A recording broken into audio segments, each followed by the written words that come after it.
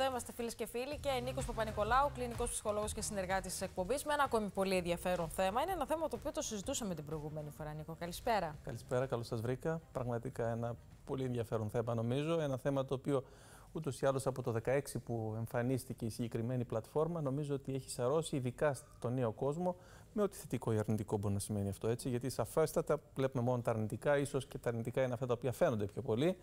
Αλλά ωστόσο θα πούμε ότι υπάρχουν έστω και κάποια θετικά. Για δίκτυο λοιπόν και νέες τάσεις, νέες μόδε. Για δίκτυο και νέες τάσεις, ακριβώς. Νέες μόδες ούτως ή άλλως από εκεί πέρα. Νέες τάσεις, νέες μόδες, νέοι τόποι, νέοι δικτυακοί τόποι οι οποίοι υπάρχουν και. Και νέοι κόσμοι, ε. Και νέοι κόσμοι, ακριβώς. Νομίζω ότι ειδικά με την τεχνική νοημοσύνη η οποία έχεις βάλει το τελευταίο μόλις 1,5 χρόνο στη ζωή μας. Αλλά ωστόσο έχει σαρώσει, θα έλεγα. Και σκέψου ή σκέφτομαι τι μπορεί να συμβεί σε 4, σε 5, σε 6 χρόνια. Όταν αυτό θα αρχίσει να εξελίσσεται με ακόμα αυτό πιο θα αρχίσει να εξελίσσεται, ακριβώς. Ακόμα το πόσο τελικά αυτό μπορεί να γίνει ένα εργαλείο πραγματικά ή αντίστοιχα ένα επικίνδυνο εργαλείο. Ξέρεις, ειδικά στο κομμάτι το προσωπικό, το δικό μου, το, το κομμάτι της ψυχολογίας, ήδη υπάρχουν έτσι, μελέτες, ήδη υπάρχουν έρευνες οι οποίοι ε, θα, θα ανοιχνεύουν διάμεσο του κινητού τηλεφώνου κακά τα ψέματα, τον τρόπο με τον οποίο πληκτρολογούμε, πόσο γρήγορα ή πόσο αργά πληκτρολογούμε, τον τρόπο με τον οποίο αλληλεπιδρούμε στα μέσα κοινωνικής δικτύωσης με τους άλλους, τον αριθμό ή τη, τη διάρκεια των τηλεφώνων, το χρειά της φωνής την οποία θα έχουμε, από εκεί και πέρα και το λεξιλόγιο το οποίο θα χρησιμοποιούμε και το οποίο θα μας δίνει αυτό πληροφορίες για την νοημοσύνη, για πιθανή υποτροπή από κάποια ψυχική ασθένεια η οποία υπάρχει. Προφανώς δεν είναι διάγνωση κάτι τέτοιο έτσι, αλλά θα υπάρχει, ε, όταν θα υπάρχει υποτροπή θα μπορεί να την ανοιχνεύει στα πρώιμα στάδια. Ήδη υπάρχουν κάποιες τέτοιες έρευνες εν εξελίξη, προφανώς ακόμα δεν έχουν εφαρμοστεί, αλλά σαφέστατα είναι έρευνες οι οποίες είναι Και θα προτείνει μετά, Νίκο, παρέμβαση, δηλαδή. Θα προτείνει παρέμβαση, ναι. Ήδη υπάρχει κάτι τέτοιο, το οποίο θα προτείνει παρέμβαση και έχω την αίσθηση, ξέρεις, ότι τουλάχιστον σε χρόνια νοσήματα, ψυχικά νοσήματα, κατά ψέματα, δεν είναι κάτι το κακό αυτό. Είναι κάτι το οποίο ούτως ή άλλως μπορεί να ανοιχνεύσει πρόημα. Τα, τα όρια και τα, τα, τα περιθώρια σφάλματος. Ακριβώς. Τα όρια, τα περιθώρια σφάλματος και προφανώς από εκεί και πέρα το ποιος διαχειρίζεται όλη αυτή την πληροφορία από εκεί και πέρα. Νομίζω ότι αυτό φτάνει. πού φτάνει ακριβώς αυτή η πληροφορία. Και προφανώς είναι μια ένδειξη, αλλά ισχυρή ένδειξη. Και με ποια συγκατάθεση προφανώς από εκεί είναι πέρα. Ένα, είναι ένα πολύ επιστημονικό θέμα. Δηλαδή έχει πολλές και, διαφορετικ... πολλούς και διαφορετικούς παράγοντες οι οποίοι εμπλέκονται, είτε αφορά το κομμάτι το νομικό, Ακριβώς. είτε αφορά το κομμάτι της ψυχολογίας, είτε αφορά οποιοδήποτε άλλο κομμάτι.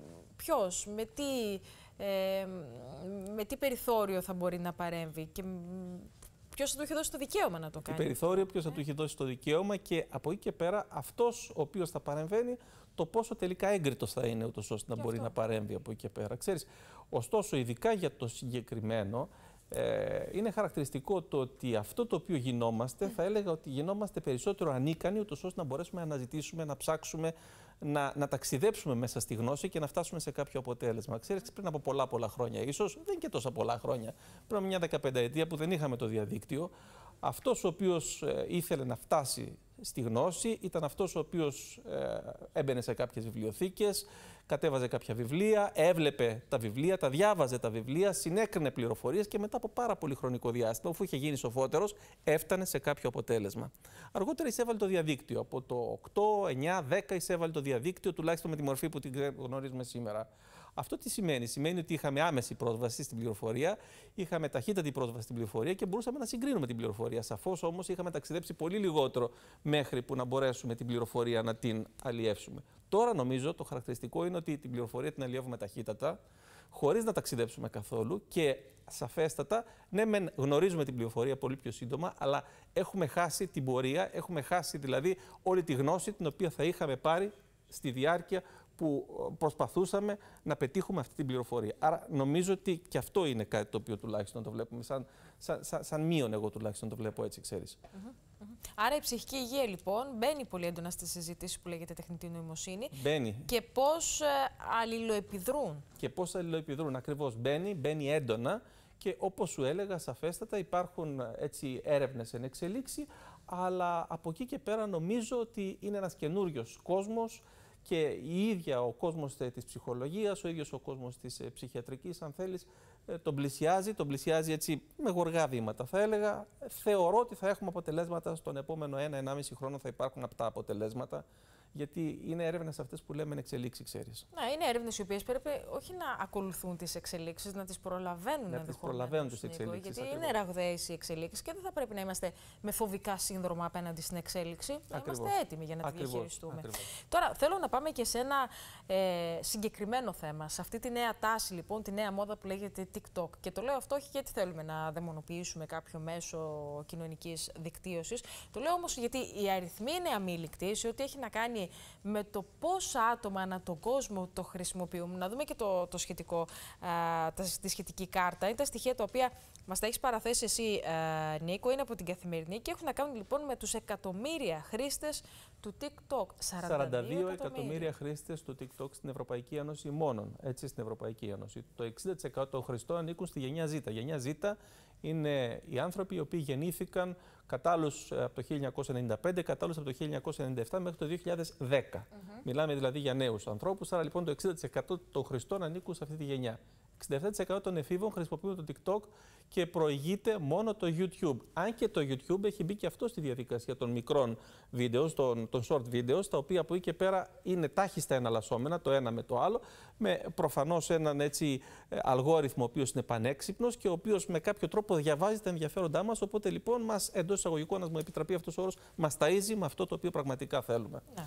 Βλέπουμε και εδώ, ωστόσο, ότι οι γυναίκες σε σχέση με τους άντρε έπονται έστω και λίγο, ένα 10%, 45 με 54 περίπου τους άντρε, 120 δισεκατομμύρια δολάρια τα κέρδη της μητρικής εταιρείας, ο κινέζικος κολοσσός, ο οποίος ουσιαστικά έχει το, το TikTok, 33% λένε ότι συνήθως ενημερώνονται μέσω της πλατφόρμας. Και εδώ αρχίζουμε, ξέρεις, τα προβλήματα. Δηλαδή, συνήθως αρχίζω και ενημερώνομαι μέσω της πλατφόρμας με ό,τι θετικό ή αρνητικό συνήθως, ωστόσο είναι αρνητικό αυτό, δεδομένου του ότι ενημερώνομαι από, διάφορες, έτσι, από διάφορα βίντεος, τα οποία βίντεος είναι αμφιβόλου ποιότητας, αμφιβόλου πιστότητας, αμφιβόλου επιστημονικότητας.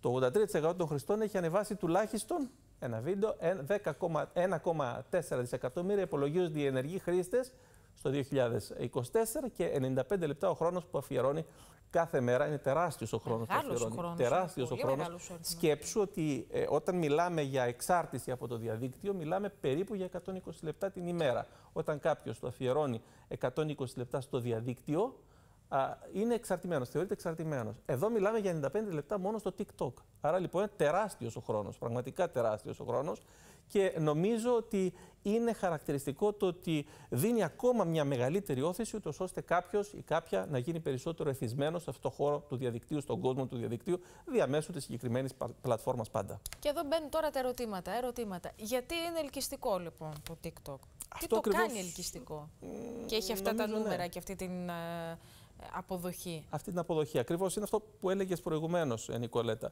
Είναι ο αλγόριθμος, ο πανέξυπνος αυτός αλγόριθμος, ο οποίος, όπως είπα και προηγουμένως, μας ταζει με αυτό πραγματικά το οποίο θέλουμε, με τα ενδιαφέροντά μας.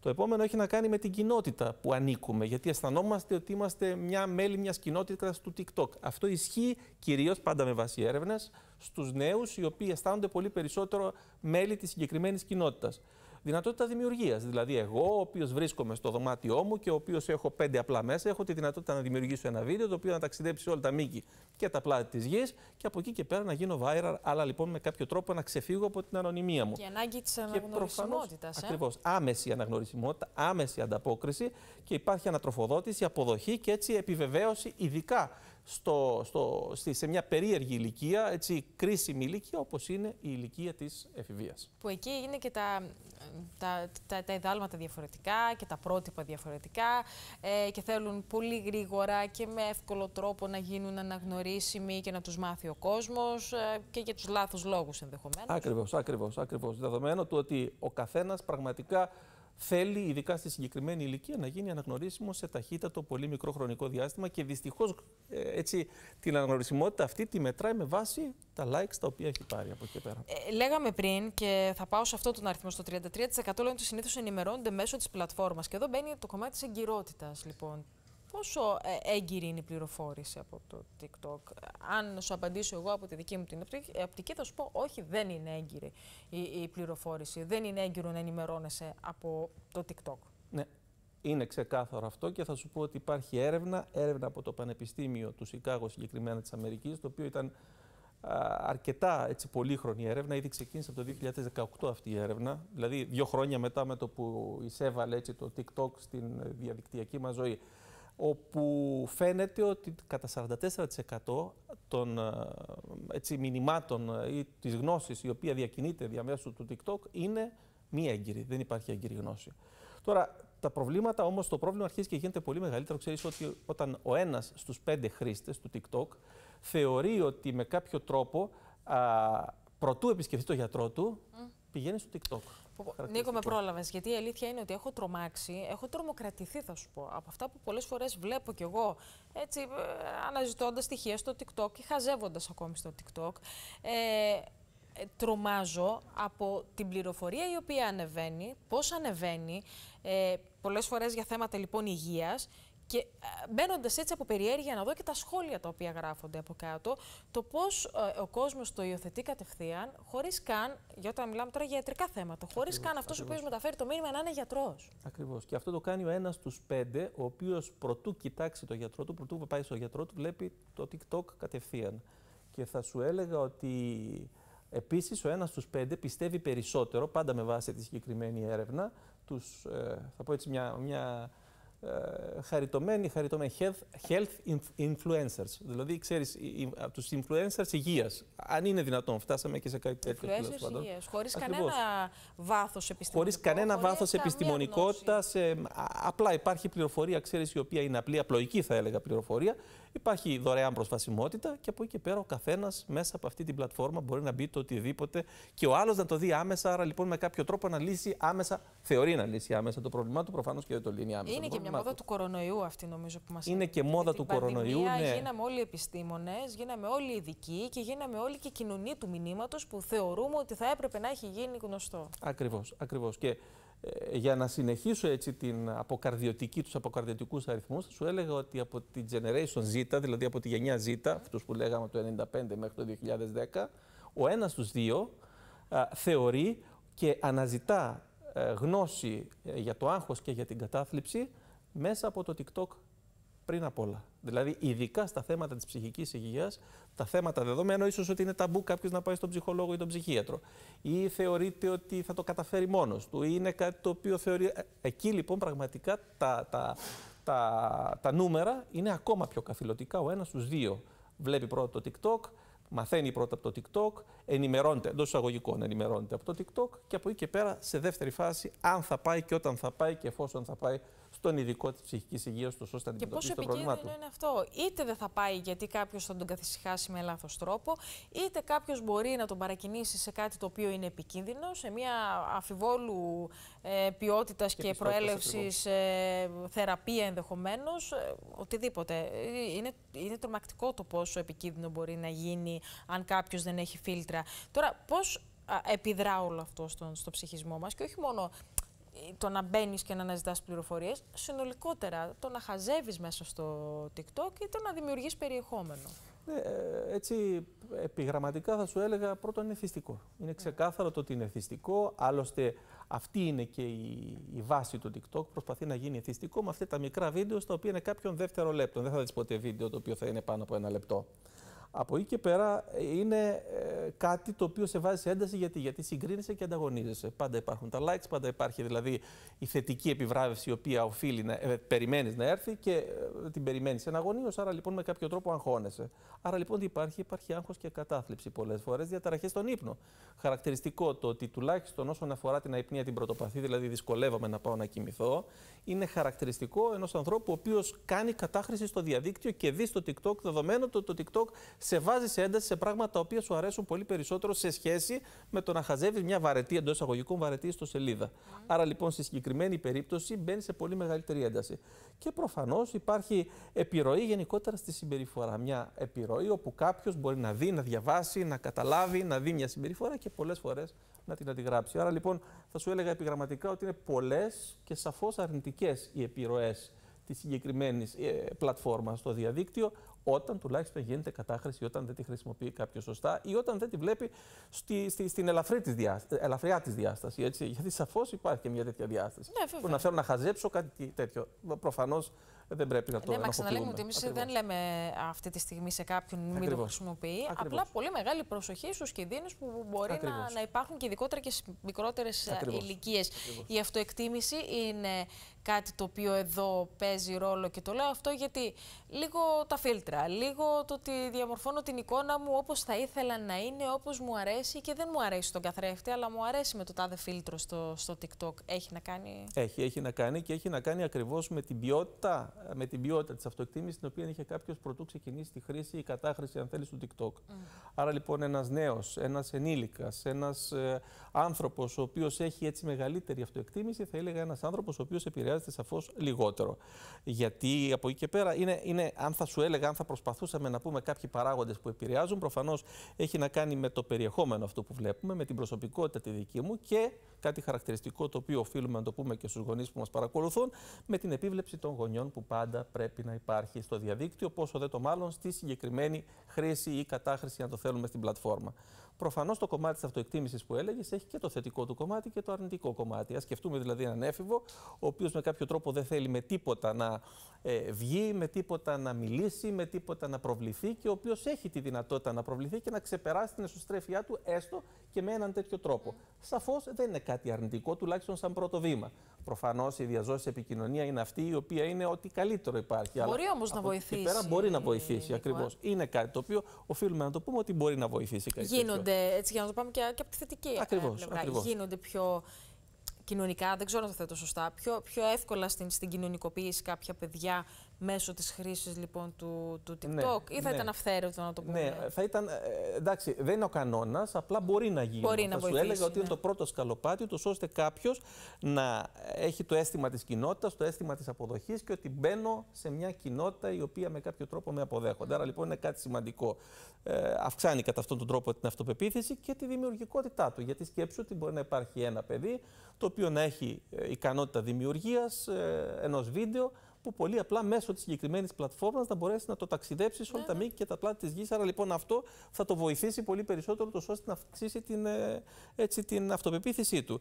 Και προφανώς αυτό που είπες προηγουμένως, οι δυνατότητες έκθεσης που έχει, δηλαδή εκτίθεμε πλέον σε ένα κοινό είναι το πρώτο βήμα. Σαφώς η διαζώση επικοινωνία είναι κάτι διαφορετικό, αλλά σαφώς είναι το πρώτο βήμα. Καλά, είναι ναι, και... Μπορούμε να πούμε λοιπόν ότι υπάρχουν κάποια θετικά στοιχεία, εννοείται. Είναι και το κομμάτι της καλής διαφήμισης. Και του, του στέλνω το, το μήνυμα και με αναγνωρίζει ο άλλο είτε για εμπορικούς σκοπούς, γιατί είναι και αυτό πολύ μεγάλο κομμάτι. Το εμπορικό, ο εμπορικός λόγος και γιατί το χρησιμοποιεί κάποιος.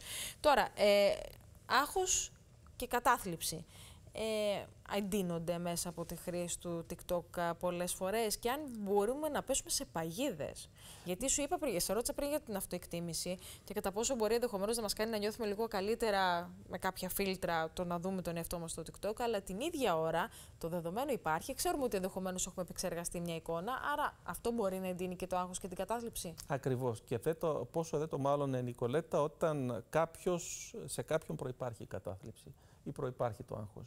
Δηλαδή, όταν κάποιος είναι καταθλιπτικός και ο οποίος μπει στη διαδικασία με κάποιο τρόπο να αρχίσει να βλέπει κάποια βίντεο, τα βίντεος mm. έχουν μια πεσημιστική εκδοχή, μια πεσημιστική χρειά. Αυτά τα βίντεο στη συνέχεια ταΐζουν εντός εισαγωγικών την καταθλιπτικότητα την οποία έχει, την αρνητική διάθεση την οποία έχει, την κακή διάθεση την οποία έχει. Όλο αυτό λοιπόν ουσιαστικά δεν κάνει τίποτα περισσότερο παρά ουσιαστικά επιτείνει μια κακή διάθεση που ήδη υπάρχει στον άνθρωπο.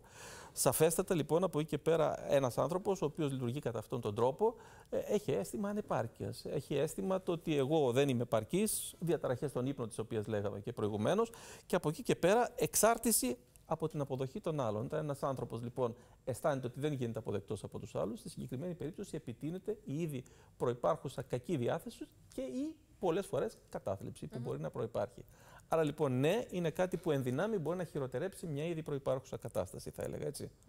ε, βελτιώνει, χειροτερεύει ε, ζητήματα διάσπασης προσοχής; Ξέρεις, αν προσπαθήσουμε εντάχει να ταξιδέψουμε γενικότερα στις ε, πλατφόρμες κοινωνικής δικτύωσης, θα λέγαμε ότι τα πάντα ξεκίνησαν με το Facebook. Το 2006 ουσιαστικά, τα οποία ξεκίνησαν, το 2003, συγγνώμη, τα οποία ξεκίνησαν με το Facebook, όπου εκεί ήταν ε, ο λόγος. Είχαμε το λόγο, είχαμε κάποια, που, κάποια κείμενα τα οποία μπορούσαμε να διαβάζουμε. Ξαφνικά το 2006 εμφανίστηκε το Twitter, όπου τα κείμενα έγιναν πολύ πιο μικρά, πολύ πιο φτωχά. Άρα λοιπόν με κάποιο τρόπο ο λόγος τι έγινε, μειώσαμε την ποιότητα, την ποσότητα σίγουρα του λόγου. Από εκεί και πέρα, αργότερα το 10 μπήκε το Instagram, στατική συνήθως εικόνα. Άρα λοιπόν ο λόγος με κάποιο τρόπο εκμηδενίστηκε και μπήκε η εικόνα. Και το 16 πλέον τι έχουμε, έχουμε την εικόνα, η οποία εικόνα είναι γρήγορη, εναλλασσόμενη, άρα λοιπόν με βάζει ένταση, άρα τι κάνουμε, χειροτερεύει ζητήματα διάσπασης προσοχής. Όσον αφορά το συγκεκριμένο, θα σου έλεγα ότι υπάρχει πάλι έρευνα η οποία λέει ότι το 2012 συγκεκριμένα ο μέσος όρος τον οποίο χαζεύαμε σε μια ιστοσελίδα, σε ένα, στο διαδικτυακό κόσμο κάπου, ήταν γύρω στα 75 λεπτά και από εκεί και πέρα, ε, 75 συγγνώμη, δευτερόλεπτα και χάναμε μετά την προσοχή μας. Τώρα πλέον, το 2020 τουλάχιστον που έχουμε τα καινούργια στοιχεία από πάντα τη συγκεκριμένη έρευνα που είναι εξελίξει, φαίνεται ότι έχουμε πέσει στα 45 με 50 λεπτά. Άρα λοιπόν έχει μειωθεί, ε, δευτερόλεπτα, συγγνώμη. Έχει μειωθεί κατά ένα τρίτο ο χρόνος τον οποίο χαζεύουμε στο διαδίκτυο και μπορούμε να εστιάσουμε την προσοχή μας. Μετά χάνουμε την προσοχή μας και περνάμε πιθανά σε κάτι άλλο. Άρα λοιπόν, ναι, τα ζητήματα τουλάχιστον της ε, έτσι, ελληματικής προσοχής, της ε, δυσκολίας που έχει κάποιος τόσο ώστε να εστιάσει την προσοχή του κάπου, τα χειροτερεύει. Ε, και άλλωστε αυτό είναι χαρακτηριστικό ότι δεν δίνεται επαρκής χρόνο στο, στο χρήστη, ούτως ώστε να μπορέσει με κάποιο τρόπο να επεξεργαστεί αυτό το οποίο βλέπει. Είναι ταχύτατη πληροφορία, είναι τάχιστα εναλλασσόμενη πληροφορία και άρα λοιπόν τι κάνει, αν κάποιος έχει μια φορά ζήτημα με την προσοχή του, ουσιαστικά στο τέλος όλης της διαδικασίας που θα βρεθεί μπροστά σε έναν υπολογιστή και θα χαζεύει αρκετές ατέλειωτες, όπως είδαμε και προηγουμένως ώρες στο TikTok, ουσιαστικά θα χειροτερέψει το κομμάτι της ε, προσοχής. Άλλωστε, ξέρεις, τις περισσότερες φορές όταν καθόμαστε σε έναν υπολογιστή, ε, ισχύει το εξής. Δεν θέλω να, να κλείσω το κενό μου, δεν θέλω να το υφάνω το κενό μου, θέλω απλώς να το γεμίσω το κενό μου, τίποτα περισσότερο. Ε, άρα λοιπόν αισθάνομαι ήδη κενός, γεμίζω αυτό το κενό μου ακριβώς και δεν θέλω να το κάνω καλά με τίποτα και για τίποτα. Ε, υπάρχουν οδηγίες, τι κάνουμε για να προστατευτούμε; Ξέρεις, οι οδηγίες θα σου έλεγα ότι είναι αυτές οι ίδιες οι οδηγίες συνήθως οι οποίες μιλάμε και λέμε για, τους, ε, για τη χρήση, την κατάχρηση τουλάχιστον όσον αφορά το διαδικτυακό κόσμο. Θέτω όρια, το ξεκάθαρο. Το πρώτο, ότι θέτω όρια ουσιαστικά είτε σαν γονιός προς το παιδί, είτε το ίδιο το παιδί, είτε ο ίδιος ο ενήλικας, ο οποίος γενικότερα φαίνεται να είναι εξαρτημένος από τη συγκεκριμένη διαδικτυακή πλατφόρμα. Άρα λοιπόν θέτω όρια και πραγματικά τα χρειαζόμαστε δεδομένου ότι όπως είπαμε, μιλάμε για 95 λεπτά μεσοσταθμικά τουλάχιστον που βλέπουμε ημερησίως τη συγκεκριμένη πλατφόρμα. Από εκεί πέρα εναλλακτικές δραστηριότητες. Άσκηση, διάβασμα, ξέρεις χαρακτηριστικά διάβαζα ότι το 1 τρίτο των νεοελλήνων δεν ανοίγει πλέον καθόλου βιβλίο. Και το πόσο εύκολο είναι να γίνει η μετάβαση, Νίκο, και ε; πόσο εύκολο. από το διαδίκτυο στο βιβλίο. Δεν είναι εύκολο, είναι πολύ δύσκολο και θα έλεγα χαρακτηριστικά ότι το πρώτο χρονικό διάστημα, τουλάχιστον όταν κάποιος θα καθίσει επάνω σε ένα βιβλίο, την πρώτη σελίδα του βιβλίου θα χρειαστεί να τη διαβάσει πολλές φορές, ούτως ώστε να μπορέσει να κατανοήσει ναι. αυτό που λέει, γιατί ίσως έχει μάθει σε μια τελείως διαφορετική πραγματικότητα, όπου οι εικόνες εναλλάσσονται. Αυτό που βλέπει σαν ε, λεζάντες πάνω κάτω υπάρχουν εικόνες, άρα λοιπόν οι εικόνες εναλλάσσονται και πολύ απλά κάποιος βλέπει και διαβάζει πολύ μικρότερα κείμενα. Ενώ τώρα θα χρειαστεί να διαβάσει ένα βιβλίο το οποίο έχει πολλές σελίδες. Σαφώς δεν είναι εύκολο. Είναι πολύ δύσκολο, αλλά βλέπουμε το, το, αυτό που πρέπει να γίνει σίγουρα από εκεί και πέρα παραδοτικέ αποτοξινώσεις, τις οποίες μπορούμε να κάνουμε από τους υπολογιστές. Έχουμε τη δυνατότητα να πούμε θα μείνω μια εβδομάδα τουλάχιστον στη διάρκεια των διακοπών μου ή τουλάχιστον σε αυτό το Σαββατοκύριακο το οποίο θα βρεθώ με την οικογένειά μου χωρίς να μπω στο τηλέφωνο μου, χωρίς να ταξιδέψω με τον υπολογιστή μου. Και προφανώς από εκεί και πέρα υπάρχουν διάφορες εφαρμογές παρακολούθησης χρόνου, όπου κάποιος μπορεί πραγματικά στο τέλος της ημέρας ή της εβδομάδας να μείνει έκπληκτος από το χρονικό διάστημα στο οποίο έχει παρακολουθήσει τη συγκεκριμένη αυτό είναι ένα πλατφόρμα. Είναι. Γιατί όταν κάποιος ξέρεις βρεθεί μπροστά σε, ε, σε, ένα, σε ένα νούμερο ότι ε, έχω καθίσει μεσοσταθμικά 95 λεπτά την, ναι, ναι. με βάση αυτό που λέγαμε και προηγουμένως την, ε, τη μέρα μπροστά στον υπολογιστή παρακολουθώντας τη συγκεκριμένη πλατφόρμα, ε, τότε νομίζω ότι κάποιο καμπανάκι θα χτυπήσει, ούτως ώστε να μπορέσει να κάνει κάτι για να αντιμετωπίσει μια κατάσταση η οποία αρχικά τουλάχιστον δεν φαίνεται να δυσκολεύει τη ζωή του, αλλά σίγουρα τη δυσκολεύει τη ζωή του, όπως όλες οι καταχρήσεις, έτσι και η συγκεκριμένη κατάχρηση. Και λίγο πολύ νομίζω ότι όλα τα κινητά, τα έξυπνα κινητά πλέον διαθέτουν ε, αυτή την εφαρμογή Ακριβώς. την οποία λες, ώστε να αναζητήσει ο κόσμος, να δει τα στοιχεία. Ε, και εγώ είχα, ε, μου είχε προκαλέσει στο παρελθόν έτσι τρομερή έκπληξη βλέποντας ανάλογα στοιχεία στο δικό μου το κινητό. Και νομίζω ότι αυτό είναι ένα πολύ καλό τραγούδι. Δεν το καταλαβαίνουμε ότι μπαίνουμε πολύ έντονα σε αυτό τον κόσμο. Δεν το καταλαβαίνουμε και είναι χαρακτηριστικό, ξέρεις, τουλάχιστον όταν ταξιδεύει στον χώρο του διαδικτύου να καταλάβει ότι μετά από κάποιο χρονικό διάστημα να, να πιστέψει ότι βρέθηκε μια, δύο ή τρεις ώρες και τελικά να έχει βρεθεί 6, 7, 8, 10 ώρες. Πόσο δε το μάλλον σε ένα διαδίκτυο το οποίο έχει μικρά βίντεος, τάχιστα εναλλασσόμενα, όπου εκεί πραγματικά χάνεις την αίσθηση του χρόνου. Ταξιδεύεις ώρες ατέλειωτες και μετά βλέποντας το ρολόι, απλώς βλέπεις τι έχεις χάσει από την προηγούμενη σου ζωή, την ε, όχι διαδικτυακή ζωή σου. Εντάξει. Νίκο Παπα-Νικολάου, σε ευχαριστούμε πολύ για το πολύ ενδιαφέρον θέμα και σήμερα. Καλή συνέχεια. Εγώ ευχαριστώ.